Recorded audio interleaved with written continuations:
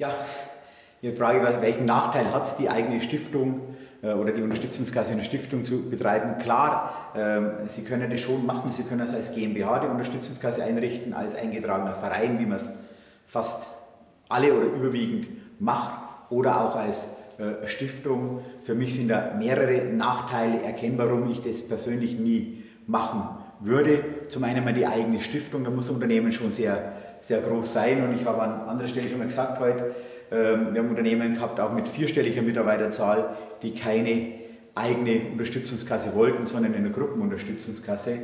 Ähm, die partielle Steuerpflicht, da sagen wir Nachmittag noch, ähm, noch etwas dazu. Die partielle Steuerpflicht, die kann ja eine Gruppenkasse nie früher einsetzen als in einer Einzelunterstützungskasse, egal welche Rechtsform das Ganze ist oder das Ganze, das Ganze hat.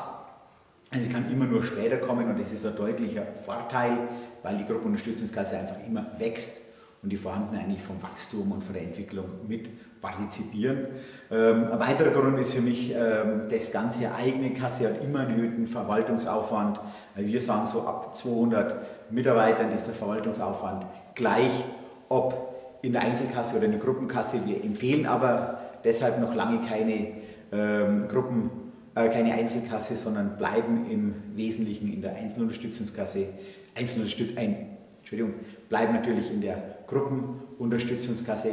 Einzelunterstützungskasse, die nehmen wir dann, wenn irgendwelche Spezialitäten sind, zum Beispiel Immobilien rein verkauft werden in der Unterstützungskasse, verwaltet man zum Beispiel einen Konzern, der das so macht. Oder ähnliche Dinge, die man vielleicht in der Gruppenunterstützungskasse nicht machen äh, will. Also der Verwaltungsaufwand ist mit Sicherheit das eine, das andere ist eine Stiftung als solches. Also ein Verein äh, bei Überdotierung bringe ich Gelder aus meiner Sicht deutlich leichter raus mit anderen Möglichkeiten als Zuwendungen, die ich einer Stiftung leiste. Ich bin aus meiner Sicht flexibler. Ich habe ähm, zumindest theoretisch mehr, die sich mit der Thematik Verein als mit der Thematik Stiftung auseinandersetzen. Ich bin weniger abhängig das Ganze dürft, ja, es ist einfach das Bewährte und Langjährige, wie man es äh, wie macht.